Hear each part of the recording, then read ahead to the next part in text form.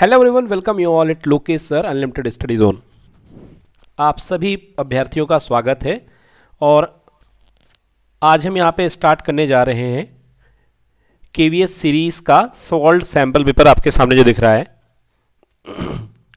2017 scheme का ये paper है। चलिए तो स्टार्ट करते हैं दोस्तों।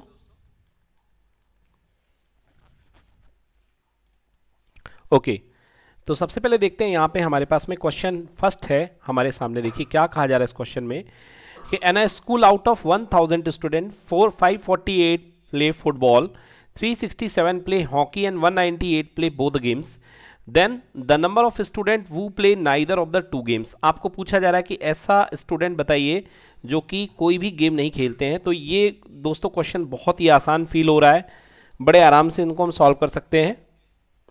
ओके देखिए, किस तरीके से सॉल्व करेंगे? ओके सो देखेंगे कैसे करेंगे इस क्वेश्चन को। तो इस क्वेश्चन को करने के लिए कोई ज़्यादा मुश्किल नहीं इस क्वेश्चन को करने के लिए। Let F and H denote the number of student playing football and hockey so n F equals to five forty eight and n H equal to three 67 then n n F intersection H equals to 198 so guys सबसे पहले आप n F union H calculate कर दीजिए and so simple आपके पास total student कितने दिए गए हैं? 1000 सो ना खेलते हैं फुटबॉल ना खेलते हैं hockey so n F union H का इंटरसेक्शन एफ़ यूनियन एच का full complement that is equals to n union union minus total जितने भी खेलते हैं football union hockey so football union hockey के केसेस हमने निकाल रखे हैं. How many 283 so 283 sorry sorry sorry one seven hundred seventeen so one thousand minus seven hundred seventeen कर देंगे और ये आपका आंसर आ जाएगा. Okay next question is if b is a unit vector then a dot b in times b plus b cross a cross b हम लोग जानते हैं कि ए क्रॉस बी जो होता है बी के परपेंडिकुलर होता है because a cross b is the perpendicular vector both to a and b so अगर आप बी के साथ क्रॉस करेंगे ए का तो कितना आ जाएगा? ज़ीरो आ जाएगा। भाई, ये वाला पार्ट तो आपके पास में ज़ीरो आ जाएगा ओके ये वाला पार्ट तो टोटली कितना हो जाएगा? आपके पास में ज़ीरो हो जाएगा ओके क्योंकि b cross a cross b b cross a cross b आप इस तरीके से निकाल सकते हो ज़ीरो हो जाएगा। देन इसके पास क्या बच गया? आपके पास में a dot b into b बच चुका है। Two a dot b into b इसको कैसे सॉल्व करेंगे देखिए। आपके पास पहले डेटा क्या दिए हैं? कह रहा है if b is a unit vector then a dot b times b plus b cross a cross b देखिए यहाँ पर ट्रिपल प्रोडक्ट इन्वॉल्व है।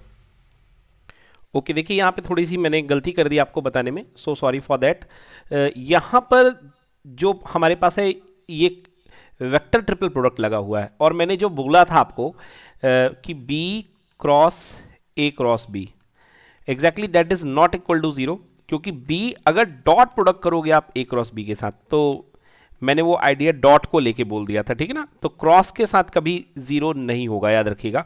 तो यहाँ पे क्रॉस लगा हुआ है। तो हम क्या करेंगे इसको सिस्टमेटिकली हम ओपन करते हैं। आइए देखते हैं कि इसको किस तरीके से हम ओपन करते हैं। तो इसको ओपन करने के लिए हमारे पास a dot b into b है। Okay?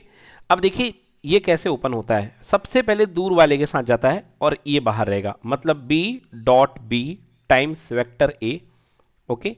B dot b times vector a minus b dot a of it times vector b तो b dot b times vector a और b dot a times vector b अब देखिए, ये चीज़ और ये जो चीज़ है दोनों क्या हैं? इक्वल हैं तो इनको आप कैंसिल कर सकते हैं। मैं किन चीज़ों के बारे में बात कर रहा हूँ? एक ये पार्ट और एक ये पार्ट ये दोनों इक्वल हैं तो कैंसिल हो गए। तो हमारे पास कितना बचा? हमारे पास बचा है mod b dot b into a and किसी वेक्टर का डबल बार प्रोडक्ट करोगे so b dot b that is equal to vector b का स्क्वायर और any vector is equal to mod of b का स्क्वायर सो ये हमारे पास कितना हो जाएगा?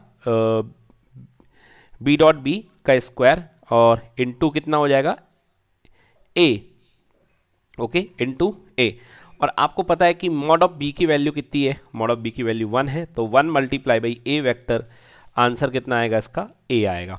ओके तो एक चीज़ और बता दूँ, देखिए, यहाँ पर किसी क्वेश्चन के ऊपर वेक्टर नहीं लगा जब बोल्ड लेटर्स होते हैं ना, उनका मतलब वेक्टर ही हुआ करता है। जैसे इस क्वेश्चन में आपके पास में बोल्ड लेटर दिए हुए हैं तो बोल्ड लेटर्स का मतलब वेक्टर ही निकाला करिए। ओके तो ये भी बहुत आसान क्वेश्चन बट कंसेप्ट याद रखिएगा कि जो अभी मैंने बताया, जिस पे मुझसे गलती हुई थी, कि अगर आपके पास में a dot a cross b आएगा ओके तो डेफिनेटली आंसर इसका कितना कर दो ज़ीरो अगर आपके पास में b dot a cross b आएगा तो इसका आंसर आप ज़ीरो कर दो। बट अदर कुछ आपको दिया है तो आपको उसको सिस्टमेटिकली ओपन करना पड़ेगा।